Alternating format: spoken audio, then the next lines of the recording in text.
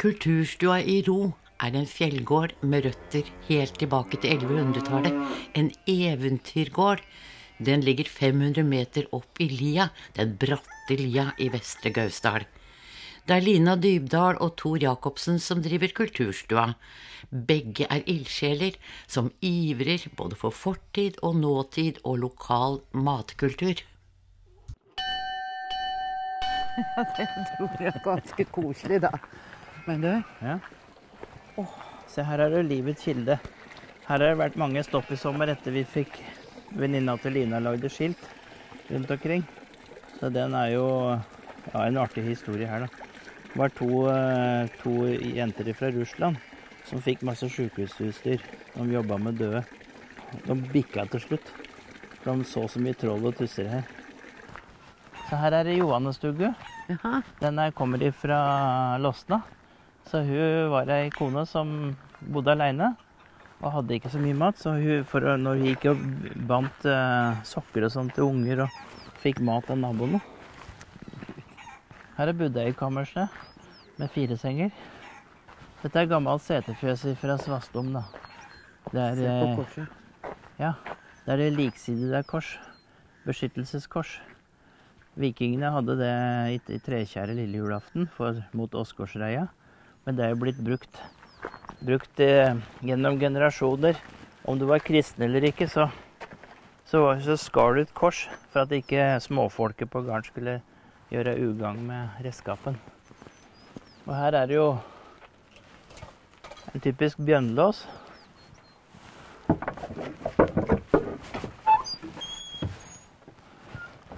Samme som var i gamle stavkirke her i bygda. Så denne kopiert jeg fra setebygningen på Toten. Men denne fins faktisk i gamle sakristidører fra stavkirka, som er i Olstadkirka nå.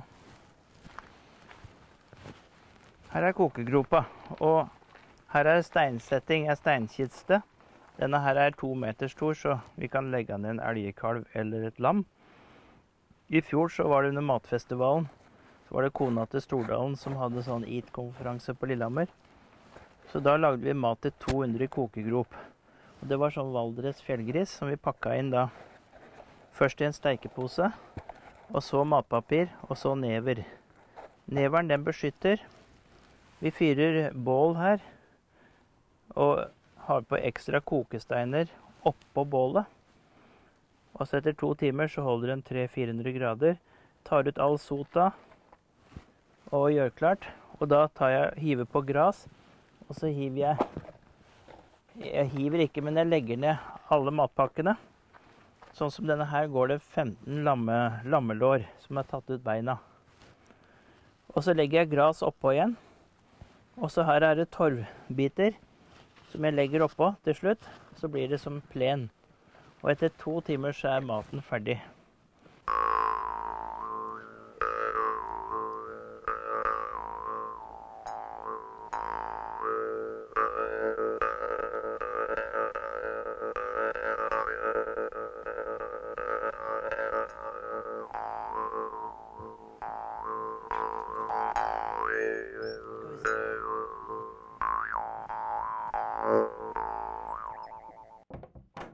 Her er åra og jorda her oppe.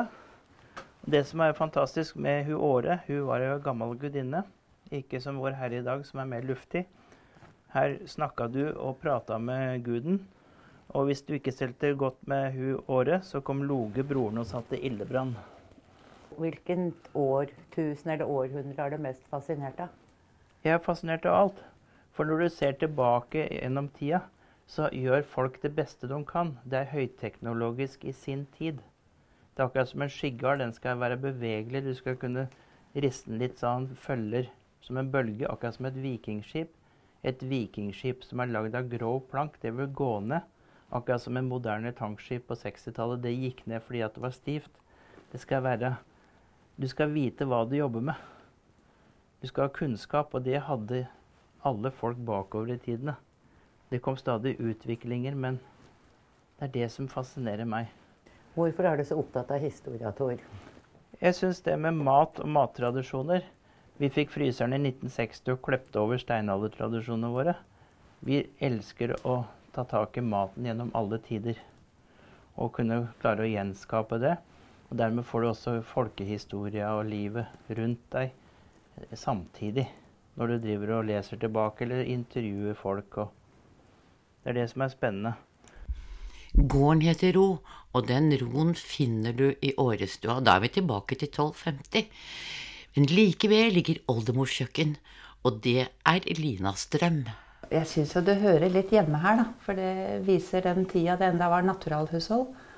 Og oldemor var en veldig god kokke. Så da er det fint å få med det her inne. Ja, betyr det mye for deg? Ja, det er en stolthet i det. For eh, det begynte med at jeg ville ha en, en bakerom, steinbakerom. Og så fikk vi dette gamle fjøset her. Og så begynte, begynte det å rulle. Så fant vi ut at ja, men her, det må jo bli oldemors kjøkken. Hun som var så god til å lage mat.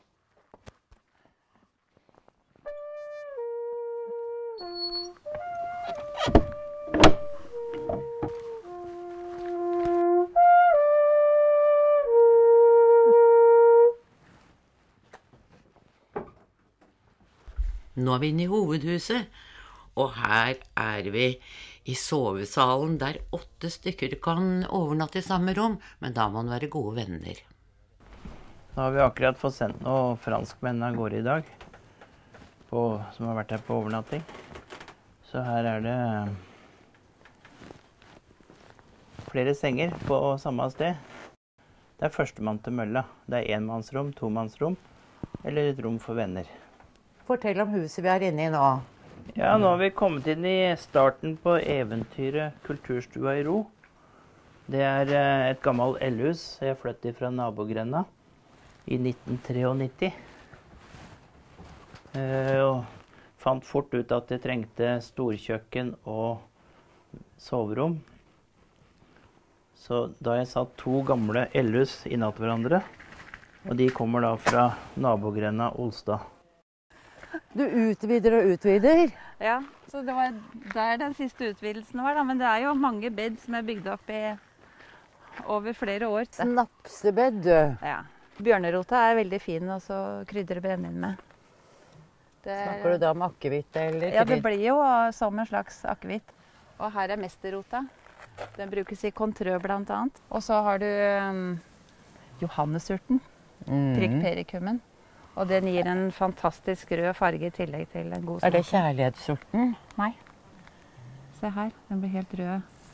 Så mye rødfarge gir den vesle knoppen. Det er knoppen den bruker når den eh, lager brennevin av det. Der har du røyspost. Timian. Timian, ja. Mm. Så den er jo veldig sånn god Åh, krydra så på, god lukt, på smak. Den kalles også for karriplante.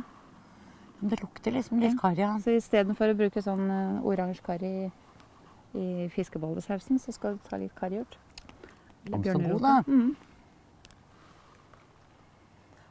Og den, eh, den er ikke så lett å få tak i. Her er kjærlighetsurten, vet du. Den heter også løpstikke Ja. og. Jeg har hørt det er eh, flere som bruker det som et triks. Når de kommer litt opp i alder. Putter litt i suppa. Ja, men det vet jo mange bruker den istedenfor buljong. Ja. Det er jo det det heter seg, da. Ja. Brukes istedenfor buljong. Men Det hender noen tar litt ekstra i. sier du det? Ja, Det er ikke farlig hvis jeg tar den, ja? absolutt ikke. Nei. Mm. Godt. Den er ordentlig sånn frisk og fin. Ja. Og det en skal passe på, er at den tar hele tida de nye skudda. Mm. For de som vokser og blir store blader, da blir de bare bitre. Dette blir mye kjærlighet av den planta her, altså. Det gjør det. Har du prøvd det?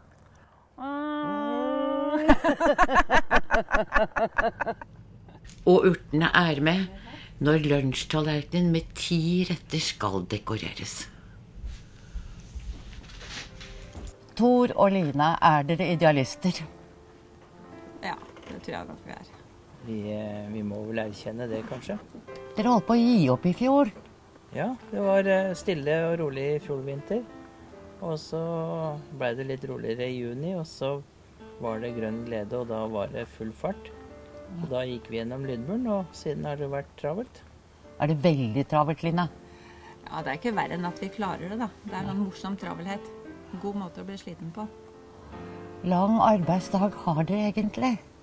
Nei, det, vi, vi er vel oppe sju, og så er det, roer vi ned ved ellevetida om kvelden hvis vi ikke har gjester om kvelden. da.